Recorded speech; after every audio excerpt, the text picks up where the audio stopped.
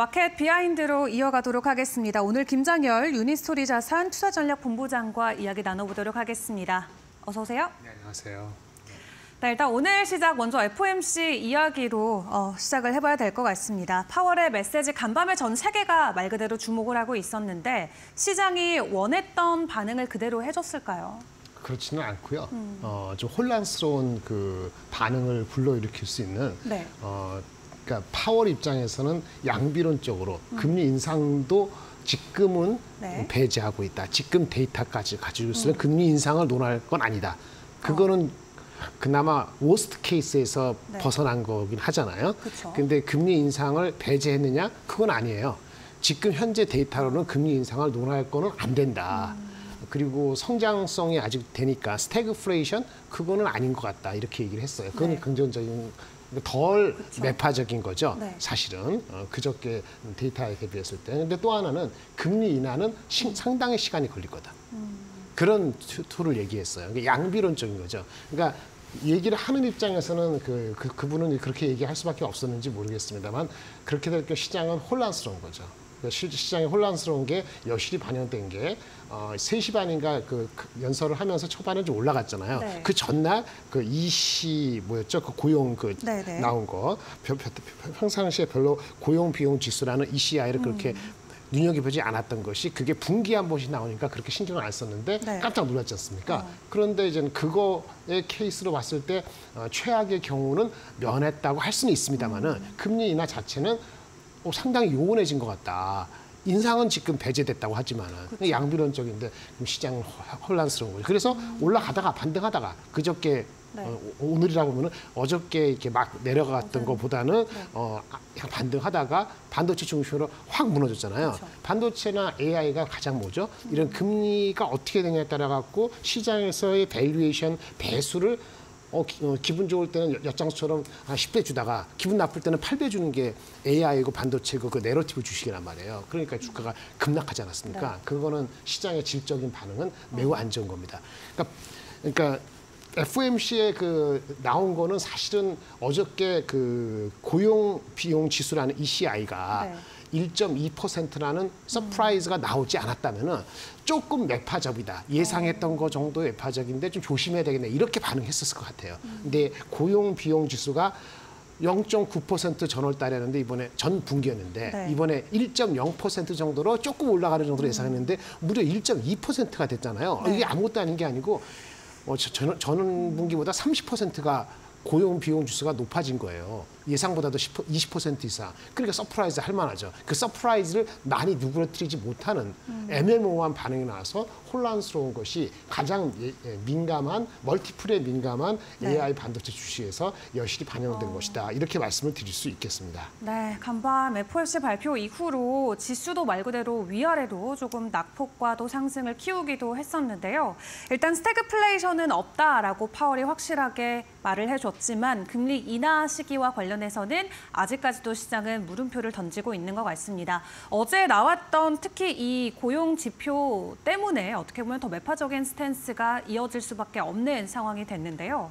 그렇다면 지금 상황에서 딱 현실적으로 우리가 파악을 해볼 수 있다라고 했을 때 금리 인하 언제쯤 가능하게 될까요? 그러니까 이제 어, 미국에서 이제 Fed Watch라고 해서 네. 그 확률을 이렇게 사람들이 하- 하잖아요. 그게 보면은 또 어저께 아침하고 오늘 아침하고 다른데 오늘 아침 기준으로 제가 여기 어제 기준으로부터 조금 달라지긴 했습니다만 네. 어, 오늘 아침 기준으로 9월 인하 확률이 43%, 어. 11월 인하 시작할 확률이 65%예요. 어. 그러면 일단 금리 인하를 아직은 한다고 보는 건데 어, 선거 직후에 하는 건가? 한 11월에 할 확률이 높아져서 9월은 확률이 낮아졌어요. 그러니까 11월이라 보고 11월에 하고 12월에 연속을 할까요? 이- 이거 아니에요. 그래서 11월 한 번으로 끝날 확률이 40%. 혹시 어, 두번 할 확률도 한 40% 있긴 있어요. 네. 근데 아마도 이제 와서 금리 인하를 11월에 시작해서 금리 인하를 연속으로 한다는 거를 뭐냐면은 네. 경제가 빨리 내려간다는 거가 확인됐을 때 두 번 할 것 같고 네. 현재로서는 9월보다는 11월이라는 지금 Fed Watch의 그, 그 배팅이 맞다 그러면은 9월부터 11월, 그러니까 9월에 해야지 여유를 가지고 두 번 할 수 있는데 그렇죠. 9월이 아니고 11월이 한 60몇 프로 높잖아요. 그럼 11월, 12월을 연속으로 확률이 있다 했을 때 실제 11월, 12월 연속으로 하게 되면 그거는 스태그플레이션까지는 아니지만 지금 경제가 탄탄하다는 것에 반대 작용이 나와서 금리 인하를 이제 두 번 하는 시나리오 연결될 수 있기 때문에 지금은 금리 인하 한 번, 11월 이게 컨센서스로 잡힌 것 같고 여전히 금리 인상은 배제했다고 하지만은 금리를 인하를 안 할 확률도 20% 정도 있어요. 20%. 20%가 많이 늘어났네요. 어, 아닌 건 아니잖아요. 네. 그러니까 금리 인상은 뭐 거의 제로지만은 음. 금리 인하를 안 할 확률 20%, 한 번 하는 40%, 두 번 하는 도40% 있는데 네. 두번 하는 거 11월에 하고 12월에 하는 게 그건 어떤 의미냐? 지금의 우리가 얘기하는 원래 얘기했던 이 텀을 두고 어, 수- 이제 그게 아니고 네. 어떤 급박한 상황에 의한 두 번 인하 가능성이 있기 때문에 음. 어, 지금은 만약에 한 번으로 만약에 만족해야 되는 상황이면은 네. 금리 인하를 한 번 하고 어, 천천히 그 로스가 내려가서 음. 내년 초에 하고 이렇게 가는 것이 차라리 나은 것 같은데 뭐 그런 도- 또는 치고 금리 인상은 제재됐는데 인하도 늦었다. 11월도 지금 65%니까 그렇게 되면은 멀티플이 높게 배수가 저- 적용돼야 되는 성장주는 어떻게 되죠? 조심스럽거나 일단 헤어컷이 당하고 나서 그러니까 그나마 오늘 다우나 이런 쪽에 일라이드라든지 어, 그저께 실적 발표된 거 이런 거는 그냥 붙들고 있는 거고 네. 그렇지 않은 거는 일단 헤어컷을 당하고 나는 그렇게 보시면 될 것 같습니다. 네, 금리 인하식이 점점 더 지연이 되고 있고 혹은 그 횟수조차도 줄어들고 있는 상황이 저희가 어, 확인을 해볼 수 있는 것 같습니다. 만약 11월에 금리 인하가 처음으로 시작하게 된다면 올해 두 번까지는 시장도 상당히 부담스럽게 받아들일 수 있는 부분 추가적으로 체크를 해봐야 될 것 같고요. 아, 오늘 국내 증시 이야기 넘어가기 전에 조금 미국 증시 안에서 또 개별적으로 확인해 볼 실적 부분들도 확인을 해보도록 하겠습니다. 아, 지금 아마존과 뭐 AMD 오늘 또 퀄컴 나왔고요. 어, 지금 슈퍼마이크론 등등 반도체 관련주들뿐만 아니라 빅테크들도 실적 발표를 일제히 내놓고 있습니다.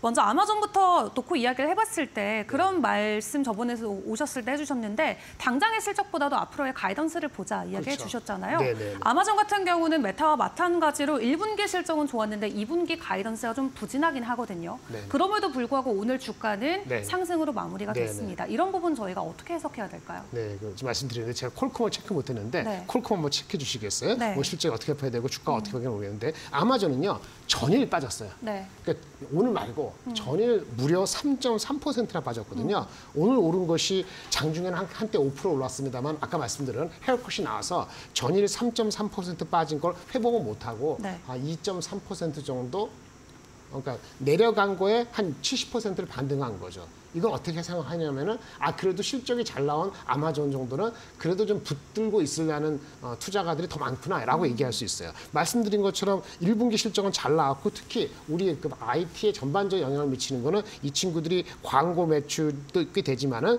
아마존 웹 서비스라고 클라우드 비즈니스가 number one이잖아요. 이게 성장률이 어, 무려 17%가 전분 어, 저기 이번 분기에 성장을 해서 지난 분기 4, 4분기에 13% 성장률보다 성장률이 꽤 높았어요. 이게 굉장히 그 긍정적인 거고 시장이 매크로가 신경이 안 쓰일 때는 사실은 떨어지는 거 없이 한 3, 4%, 5%는 올라야지 정상이라 보는데 그 전날 빠진 거에 한 70%는 반등하는 정도로 끝쳤기 때문에 뭔가 조금 그래도 이것도 조심스럽게 보는 건데 네. 그것이 지금 2분기 가이던스가 소폭 하회했어요. 그러니까 2분기는 전체 매출이 한 1,440에서 1,490억 불인데 예상이 한 1,500억 불 정도 했으니까 어쨌든 예상보다는 가이던스가 낮았던 거고 네. 매출이 낮으니까 영업이익 율도 영업이익도 예상보다 더 높을 수는 없겠죠.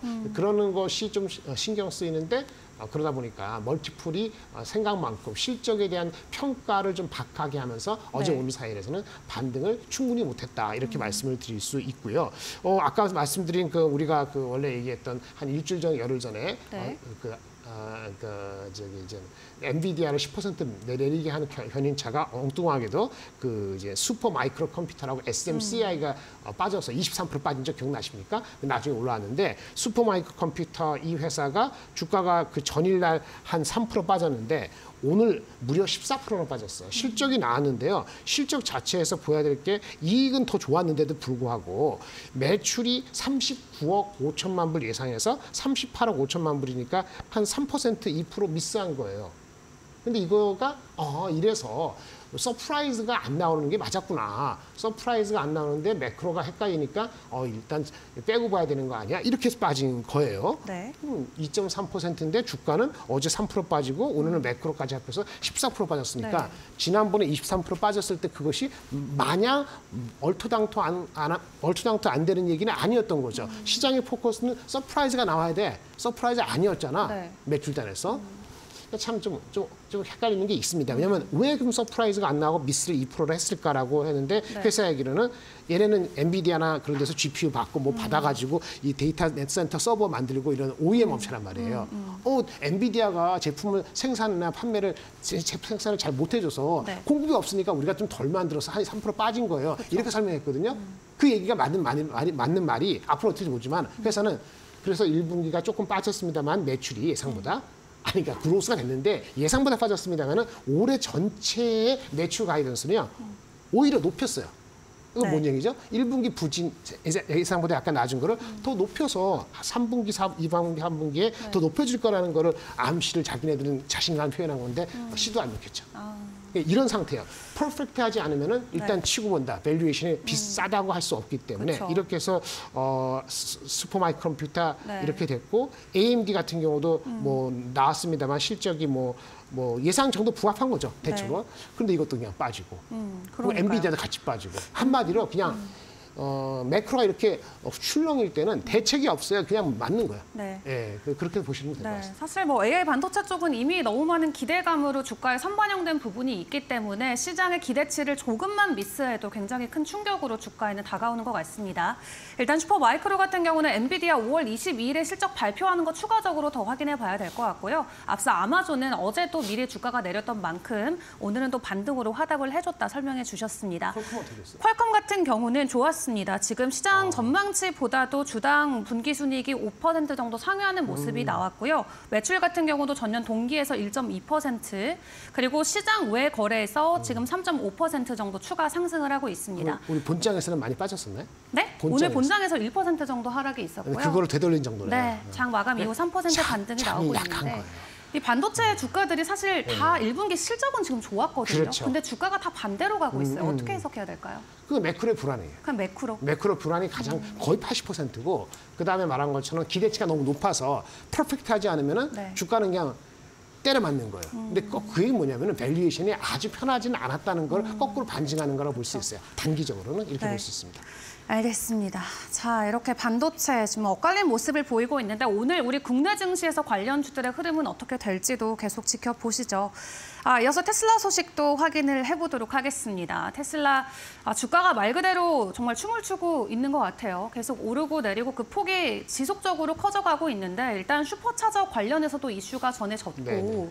아, 앞으로의 테슬라 우리가 투자 포인트 어떻게 잡아야 될까요? 어, 지난번에 이제 한 보름, 전에 네. 쭉쭉 빠질 때 네. 그 우려 때문에 실적 때문에 우려 때문에 빠졌잖아요. 실적 우려는 맞았고 그럼에도 불구하고 결국은 자율주행 무슨 카라든가 로보택시 뭐신신 그 가격 낮은 거 어, 내, 내세운다 이래서 올라간 거지 않습니까? 네. 어 근데 좀 저, 엊그저께 15% 올라간 거는 조금 반등이 좀 숏 커버 비슷하게 좀 많이 된것 같고요. 여기서 다시 시작지 얼마죠? 180불인가 이 정도잖아요. 딱그 neutral한 stance에 온 것 같아요. 여기서 진짜인데 일단은 trading 영역은 들어간 것 같아요.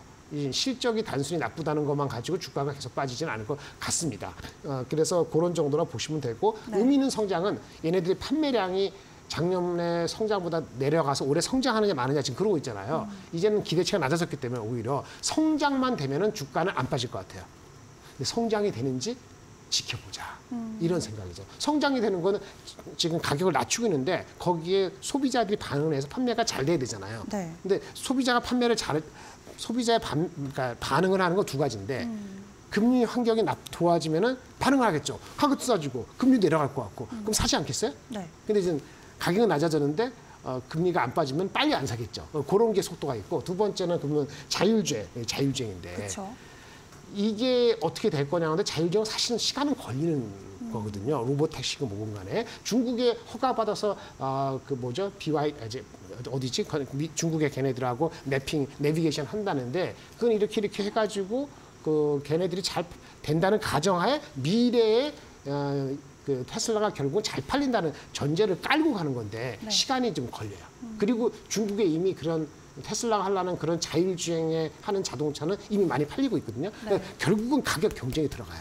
가격 경쟁이 들어가는데 성장률이 한 15%로 늘어난다는 거 확인이 되면은 주가는 제가 봤을 때 한 10% 20%는 더 갈 수 있는데 그게 아니면 여기서 정체될 가능성이 있다. 왜? 자율주행은 기본적으로 시간이 걸리는 거고. 어, 그런 문제가 있기 때문에 어, 주가는 뭐 아주 엄청나게 걱정하는 거는 웃긴, 웃긴 얘기지만 음. 반도체보다 덜 위험해 보일 수도 있습니다. 하지만 어, 지속적인 상승은 그러한 전제가 깔려야 된다. 네. 그거 와치하실 필요가 있습니다. 네, 자율주행 쪽에서의 이슈가 잘 뒷받침되어져야 현재 수준에서 10%에서 20%까지 또 상승을 우리가 기다려 볼 수 있다 설명해 주셨습니다. 보통 테슬라면 우리가 2차 전지 그리고 자율주행 쪽을 놓고 생각해 볼 수 있겠는데 또 간밤에 전해졌던 게 이 급속 충전 슈퍼차저 관련해서 일단 일론 머스크가 전원 해고를 했다 이런 소식이 전해졌고요. 500명을 잘랐다 하더라고요. 네, 일단 어, 사실 우리나라를 기준으로 놓고 생각을 해봤을 때도 현대 기아차가 테슬라의 이 충전 방식을 그대로 도입해서 사실 올해 10월부터 네네. 어, 진행을 하기로 했거든요. 아하, 그래서 예, 그 당시에 국내에서 뭐 휴맥스라든가 관련주들이 그렇죠. 상한가 가고 한때도 시끄러웠잖아요. 맞아요. 이런 소식들이 오늘 우리 국내 전기차 충전 관련 주들에게 또 영향을 줄안수 좋죠. 있을까요? 센티먼트 안 좋죠.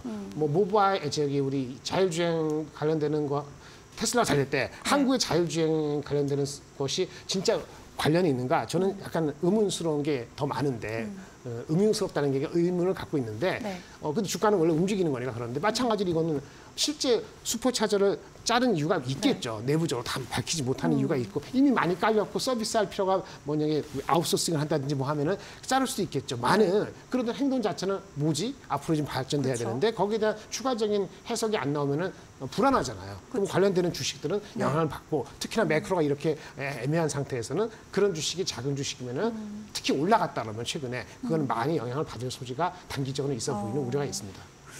네, 또 이렇게 테슬라 관련해서 우리가 국내 증시에서 또 확인해 볼 부분이 많이 있습니다. 아, 이제 5월 증시를 저희가 막 국내 장도 오늘 열게 될 텐데요. 일단 오늘 valuation 관련해서 밸류업 관련해서 프로그램 2차 방안이 발표가 되고 어, 해당 소식으로 오늘 우리 국내 증시 우리가 좀 긍정적으로 생각을 해볼 수 있을지 5월 전반적인 국내 증시 네, 네. 평가는 어떻게 하실까요? 긍정적으로 보려고 하면 두, 한 두세 가지가 있죠. 네. 일단 value-up이 오늘 그 세제를 포함해서 뭔가 좀 더 구체적이냐 이게 네. 중요하고 그쵸. 그게 애매하면 은 오히려 새로운 뉴스가 될 수 있어요. 어, 그러니까 처음엔 덜 빠지다가 음. 얘도 얘도 힘들어 그러면서 빠지면 장이 많이 빠지거든요. 기업 value가 아, 그 AI, AI 반도체하고 좀 독립적인 우리나라만의 unique한 이슈란 말이에요. 최근에 중국도 얘기했습니다만은 그런 측면에서 이것이 이제 버팀목이 돼야 되는데 일단 아직까지는 오늘 이 순간까지는 좀 기대를 해보고요. 그두 번째는 유가가 빠진 것은 그나마 긍정적이죠. 유가가 빠진 것은 전쟁이 조금 완화될지 모른다는 그런 얘기가 있지 않습니까? 그것도 설레발치면 안 됩니다만 어쨌든 유가가 빠진다는 것은 인플레이션의 CPI가 5월 15일 날 나와요. 5월 15일 날 나오는데 어저께 나온 EC, ECI 그 저기 보다는 덜 중요하다 하지만은 어쨌든 CPI는 어, 유가에도 연결되니까 네. 사- 5월 15일 날 나오는 CPI를 좀 낮을 수도 있다는 그런 게 될 수 있거나 그 다음에 나온 데이터도 아, 인플레가 바로 고공행진은 더 이상 아니고 이미 높으니까 이럴 수 있다는 거기 때문에 CPI가 낮고 유가가 낮은 거는 낮을 수 있다는 건 나쁘지 않은 거고요. 어쨌든 그 미국의 금리 인상 인하가 한 번이나 까리까리하다고 했지만 했지만은 미국의 국채 수익률이 더 높아지지는 않았고 네. 4.7% 가다가 지금 4.7% 이하잖아요. 그리고 환율이 오늘 봐야 되지만 약간 올라갈 수도 있을 것 같아요. 그러다 그래도 여전히 4,400 접촉 고점에서 기존의 이하로 유지되면은 폭락 장세가 야기되지는 않을 수도 있어요. 이게 버팀목이에요. 이것 때문에 믿고 확 투자한다는 개념은 아닌 거죠. 그래서 기업 밸류압이 어, 근거가 있어야 되고 유가가 네. 높지 않은 상태에서 어, 환율이 유지되면은 아마 뭐 조정이 미국 조정보다 더 심하게 나오지는 않지 않겠냐는 음. 생각을 갖고 있습니다. 요 정도가 네. 근적인데 어, 목은 어, 이게 코스피의 상단은 네. 상당히 제한적일 것 같아서 어. 원래 제가 2,750까지 봤는데 지금 기준 봤을 때는 2,700이 그냥 당분간 어, 상단이 아닐까라고 음. 싶어지고 2,600 이, 이하로 내려갈 가능성도 어, 당장은 아니더라도 조금 열어둘 필요가 있다 이렇게 어. 말씀을 드리겠습니다. 네, 유가와 환율 계속 주시하면서 오늘 발표될 밸류업 프로그램 관련돼서 어떤 세부안들이 나오는지 구체적으로 확인을 해봐야겠습니다. 오늘 도움 말씀 여기까지 함께하도록 하겠습니다. 수고하셨습니다. 네, 감사합니다.